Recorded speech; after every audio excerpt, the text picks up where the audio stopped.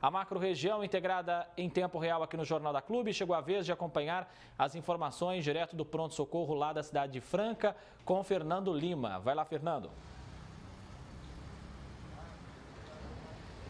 Olha, André, cenário aqui em Franca muito diferente destes mostrados aí pelo pessoal das outras cidades, assim como o Marcos Santana vai mostrar para vocês. Movimento intenso no Álvaro Azul. Eu contei mais de 50 pacientes aguardando atendimento por aqui, um número alto e que vem se mantendo nas últimas semanas, nessa média, neste patamar algumas pessoas esperando aqui do lado de fora para ser atendida nessa terça-feira de movimento intenso aqui no local.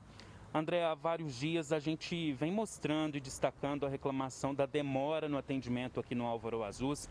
Nessa terça-feira, infelizmente, não é diferente. Alguns pacientes estão passando horas aguardando por atendimento aqui no local. É difícil, viu, encontrar alguém aqui que não esteja insatisfeito com esta situação. Uma das pacientes me relatou que alguns até desistem do atendimento e vão para casa Olha só que situação absurda em plena pandemia. O que chama bastante atenção, André, é que essa passagem das pessoas pelo médico, ela não é demorada. Algumas consultas demoram aí cerca de 20 minutos. Então fica a pergunta, né? O porquê dessa demora em chamar os pacientes para o interior do PS?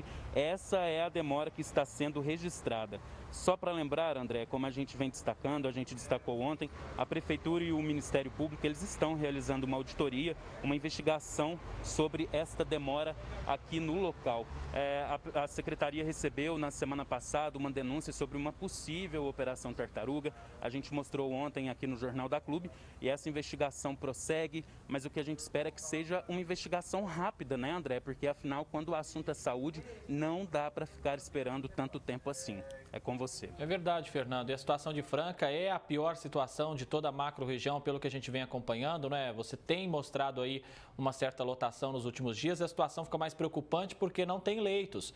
São apenas 37 leitos de UTI então faltou um planejamento aí da prefeitura, faltou planejamento do governo do estado em olhar com mais carinho aí para a região de Franca, não é? E agora quem sofre é a população, inclusive a gente sabe disso, Franca periga voltar para a fase vermelha do Plano São Paulo de flexibilização se continuar com essa taxa alta aí em torno dos 100% dos leitos disponíveis. Então, que a prefeitura, o governo do estado olhe aí com mais carinho para a região de Franca.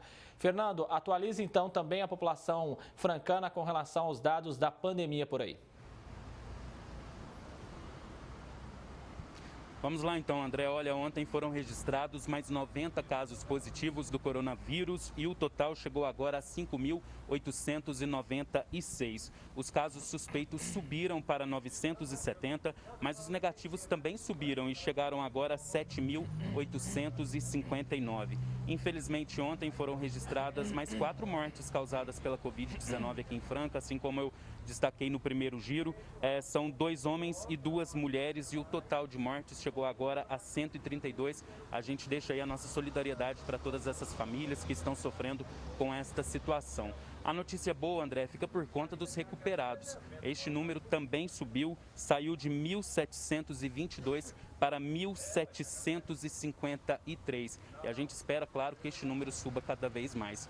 André, falando um pouquinho dos leitos que você destacou aí, antes da gente voltar aqui na segunda pergunta, atualmente são 37 leitos, destes 33 estão ocupados porém a conta é feita também com os leitos particulares. Eu tenho aqui o número também. São 18 e destes 13 estão sendo usados. Isso deixa a cidade, André, com uma taxa de ocupação de 84%, ou seja, não é suficiente para que a cidade se mantenha na fase amarela. E o que, que significa isso? Que a cidade, infelizmente, corre o sério risco de voltar para a fase vermelha. E para piorar a situação, André, agora é um mês de fase. Ou seja, se a cidade voltar para a fase vermelha somente no mês de novembro. A gente segue acompanhando, torcendo e cobrando também para que as autoridades façam a sua parte para não deixar isso acontecer, né, André? É com você. Com certeza, Fernando. Hoje, então, nós temos quatro leitos disponíveis aí no SUS.